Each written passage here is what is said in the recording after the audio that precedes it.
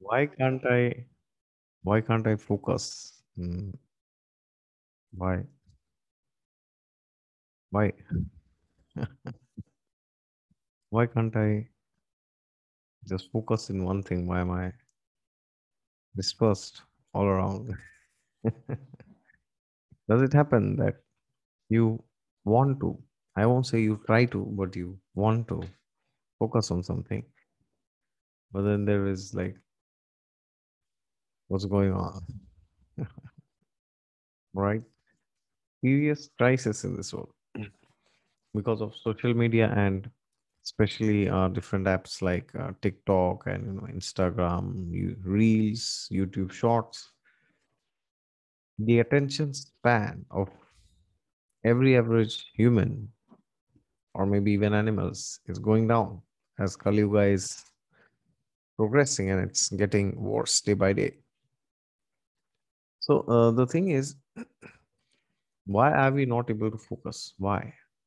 What is the reason? There has to be a reason, right, for everything. See, the thing is, we look for so many solutions. We develop apps like productivity app. We make calendars, we make schedules, we do so many things which apparently makes us uh, focused for some period of time. But then uh, again, it's back to square one after some days. Why does it happen that all the superficial techniques that we try to uh, give uh, to ourselves, to gift ourselves rather, to gain better focus in life, uh, it just fails eventually in the long run. These techniques work, but when there is a downfall, there is like a tsunami that comes in your life wave after wave of suffering and uh, trouble and pain and uh, disappointments, you will again lose the focus, right? So, why does it happen? Well, because there is something fundamental which we are missing and which we are not working towards, right? Until the time we work towards that, then whatever we do superficially, writing notes, making Excel sheets, timing our progress, trying to concentrate, trying to stay from uh, any distractions, it is not going to work, right? It might work in the in the short term, but not in the long run, definitely. All right. So that's exactly what we are going to discuss today. And as usual, if you're new to the channel, then please subscribe below. And if you have not watched this Fire of Inspirations playlist, then you can watch it. Uh, quite some videos now. And yes, God is there with you all the time. Just look to Him and you'll find Him. And if you want a consultation from me, you can go to my website down in the description section. Now, focus. What is focus? Focus means to focus. The thing is, when we say that you should focus on one thing, we tend to think that, oh, focusing on something means to just think of that not to think of anything else. well, that is actually a definition of focus. But the thing is, there is a prerequisite for you to be able to focus on something. If you do not have that, then you can't focus on anything. What is that? Number one prerequisite is you should have a purpose for why you are doing what you are doing. If you don't have a purpose, you will have no focus. So when people say they lack focus, they actually don't lack focus. They actually lack purpose, right? you don't lose focus, you lose purpose actually. Or maybe you never had any purpose. That is why, especially in terms in matters of career, people tell me, "Oh, sir, uh, actually, you know, I have lost my focus. I don't know what's going on. Too many things are going on. How should I regain my focus? How should I gain my focus back? That's the question, right? But then I ask them a counter question. Well, my dear sir, my dear madam, what was your purpose? Why did you do this? Why did you do that? Why did you do engineering? Why did you go for MBBS, medical science? Why did you go for journalism? Why did you go for sports? Why did you go for YouTube? Why did you go for astrology? Right. So your focus will be as good as your purpose. If your purpose is not good or you don't have a purpose, then it's just a waste of time to discuss about you know focus and all these things because purpose keeps you geared and anchored towards something and that brings focus. Because when your purpose is very clear then you don't like to deviate. Because distraction means alternative attraction. Should i repeat? Distraction means alternative attraction. So when you get distracted what is happening is things which are not related to your purpose is coming and hindering. But if you don't have a purpose you feel distractions are okay. You welcome them you may not welcome them wholeheartedly but you will definitely not say no to them. But when you have a purpose you are very clear. Oh will this help me in the long run? This distraction that is coming in my life will it be good for me or for my purpose? May or may not be good for me but what about my purpose right? So therefore if you want strong focus in life regard in regards to any area of your life either it's health career marriage relationship spirituality all the time i see you should have a good purpose. Let's talk of spirituality here. Many times i also see people telling me oh actually sir you know i lost my focus in my spiritual life. How should i get it back? Or what should i do? The thing is you need to ask yourself what was your purpose of starting this particular spiritual practice why did you start most of the people in Kali Yuga, as Kali Yuga is Dukhalaya Mashashvatam, as Lord Krishna says in the Bhagavad Gita, Kali Yuga is a place of misery. At the end of the day, most of the people are miserable in Kali Yuga. Even those who are good looking, they are miserable. Those who are rich, they are miserable. Those who are intelligent, they are also miserable. The degree of misery varies, but everybody has some area where some where they are getting some misery from. So the thing is, the degree and the quality and quantity of misery may vary, but as Lord Krishna says, material world means misery. Simple. Right? Why? Because everything is bound by matter, which is bound to die one day, which is bound to be extinct one day, right? Our this body is also going to die one day? Of course, Krishna says in the Gita, the soul doesn't die, right? Nahanyate hanyamane sharire. Krishna says the soul cannot be killed. Soul is eternal, Satchitananda, right? So, if you start your spiritual life with this assumption that one day, by doing spiritual practices, your material life will improve, you are going to be the most frustrated person in this entire universe. That is why people leave doing, uh, they stop continuing their um, spiritual practices because they thought, oh, I will do this. I will have a better career. I'll have a better married life or I'll have a better health. But they forget to understand this basic principle that spiritual advancement has nothing to do with your material life. Even if you are the worst beggar, the biggest or the richest person in this world, it has it it will have no impact on your spiritual life. If you um, if you if you have the necessary focus right? Being a beggar will not impede or will not improve your spiritual life. And being a billionaire will also not imp, uh, will not stop you from making further spiritual progress nor will it um, just help you and just make you spiritual right?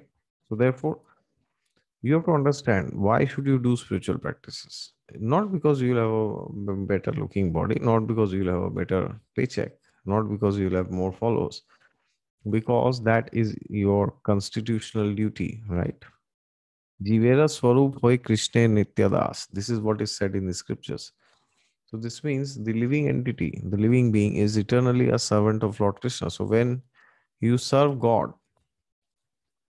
it's like watering the root of the tree, right? So you see this tree behind.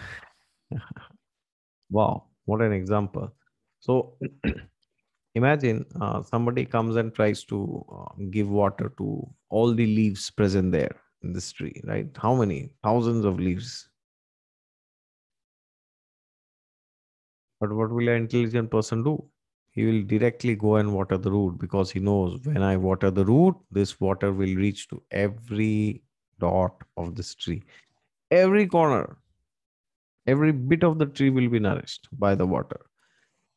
All right. So, doing spiritual practices is like connecting to God at that level.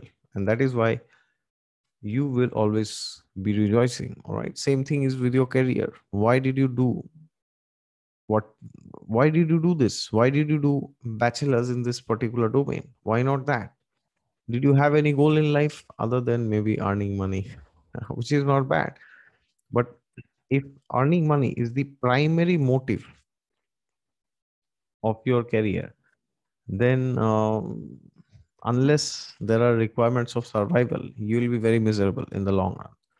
Which means if a person is like uh, having no money at all has no money for you know food clothing shelter that person may say oh my only motive in life to uh, do a job is to earn money because i want to feed my stomach and you know, myself my family uh, my parents have some problem my brother is there brother sister is studying or i have to get them married or whatever some some reason you give.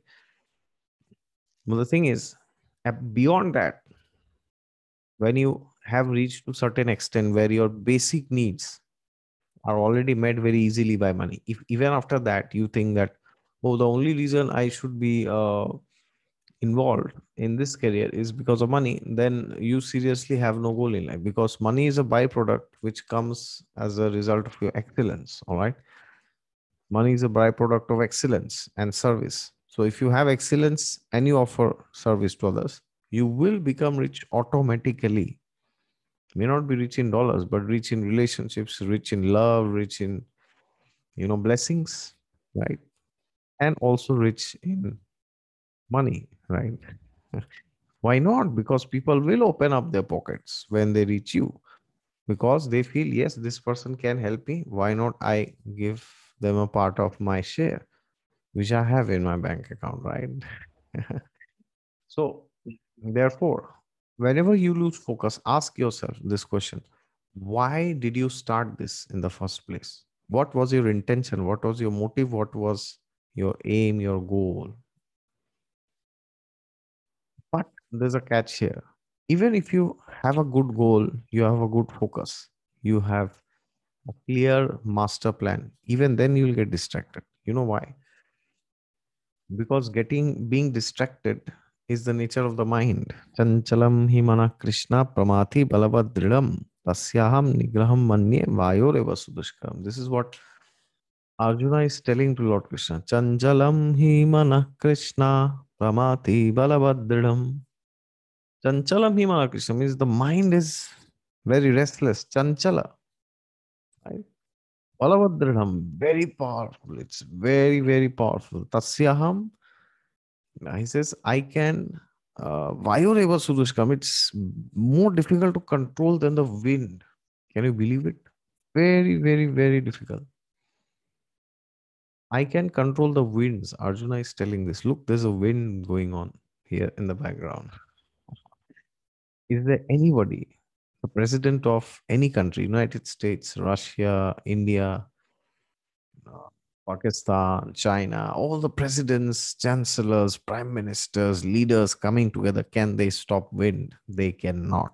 In fact, in USA, long time back, or maybe some time back, when there was a big hurricane, like a tornado, hmm, the government just said, just evacuate, just evade, just run away from that place, right? Because nobody can challenge nature. But Arjuna is equipped with so many divine weapons, divyastras, by which he can do supernatural things which a normal person cannot do. Right? When Bhishma Pitama was lying down, then Arjuna, by one arrow, the ground, he had he brought out the water of Mother Ganges, Ganga Devi.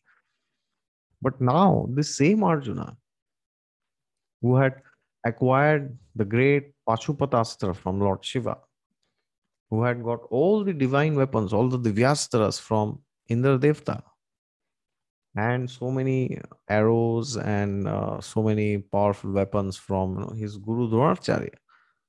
But now he's telling that I cannot capture the mind. I can capture the wind. I can, uh, as they say, hawa ka rukh more than. but then he's telling, I cannot control the mind. So therefore, even if you have a good purpose, good focus, so first is purpose, then comes focus. But then even then you'll be distracted. Okay. So what should you do? Lord Krishna says in the Bhagavad Gita, how should you control the mind? Abhyas and Tyaga. These are two things that he says, right? By practice and detachment. So practice controlling the mind and be detached. And also do spiritual practices because when you do spiritual practices every day diligently without fail or at least to whatever extent you can by that you will automatically gain mind control and you will automatically uh, gain power to control uh, your senses and by that you will have good focus actually all right therefore do not miss out on uh, mind control uh, i mean do not miss out on spiritual practices when you are trying to achieve mind control because mind control without spiritual practices is just an illusion. There is no mind control. Now you may say, "Oh, I know this big person. He's a big businessman, or she's you know very famous. They don't do spiritual practices, uh, but how do they have so much mind control?" Well, that also depends on your karma. To what extent you will be, um, you will be having good things in life, or to what extent you will have bad things in life. But whoever that person is, the most beautiful, the most intelligent, the most rich, we have seen time and again in history when difficult situations come, they succumb and they lose their focus and their life goes to ruins. right So, temporarily, you may see somebody who is rich or very famous is doing very good in life without doing any spiritual practices. But what is the eventual end? The dead end is they will die one day. Now you may say, oh, but if I do spiritual practices, will I not die? Well, of course you will die. I will die. Everybody will die one day. But when I say that a person who is spiritual will not die, is it means that the body will die, but the soul will live. So the amount of spiritual practices that you do will stay with you, which stays with the soul, and it goes to the next life, and then you start from there right? It's like you you started from 0 to you wanted to go from 0 to 100 but you reached only 70 so next life you'll start from 70 all the samskaras will be there. This is what the scriptures say okay? And if you reach 100% then you will reach perfection. You will go back to uh, the spiritual world never to return back into this material world as lord krishna says nivartante tadhama paramam mama Yes, this is what he says. One who reaches my abode never returns back to this material world. All right. So, therefore, have a purpose. Ask yourself, why did you start this? Then you will have focus. And even then, if your mind is wavering, which it will sometimes, or most of the times rather, then you have to anchor it with spiritual practices by following, you know, practice and detachment. So you have to try to control the mind artificially in the beginning. And when you do spiritual practices you will, your consciousness will be elevated by which you will gain supreme control of the mind. All right? So that is how you will never lose focus in life. All right? Thank you very much for your patience. Some other videos on similar topics i'll put them here. You can watch them and god is there with you all the time. Just look to him and you will find him. And if you are new to the channel then please subscribe to it down below. And if you want a consultation my website is also down below. Thank you